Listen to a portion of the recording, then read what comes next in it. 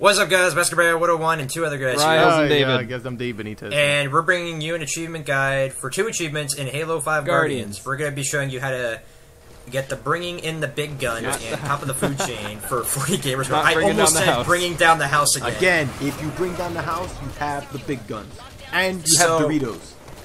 What this what this the first achievement calls for bringing in the big guns is you have to spend five or more rec points on a single item. So now you get rec points by killing enemies, killing players, Capturing uh, points. capturing points, Doing anything. basically doing anything.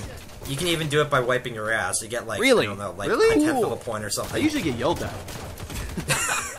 I mean, I don't know what game you're playing. Get your hand like- out of there, David.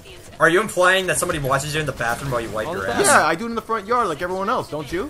All right. So once you reach level five, you want to go to a rec station and or die, and you want to go to like vehicles preferably, and maybe get a tank. Oof. I don't know. That's just my personal suggestion. Tank it. And uh, once you uh, spawn back, you get your 10 gamer score, bringing in the big guy. I just did this like 10 minutes ago. It's very easy to do. Yeah, it's Yeah. pretty easy. It's uh, the rec system isn't very hard to uh, learn. Yeah. It- you actually pick it up really quickly. Um, so yeah, once you get the tank, you basically dominate the map, And you So can get pretty wrecked. busted. Saw what I did there? Scorpion. And so for the last achievement, top of the food chain, you want to kill. I think it's called a legendary enemy. Yes. Sure. And I don't think you have to be like the sole like killer. I think you just have to like, Like, if you at final least shoot it, you get the achievement Oh. or get an assist for it.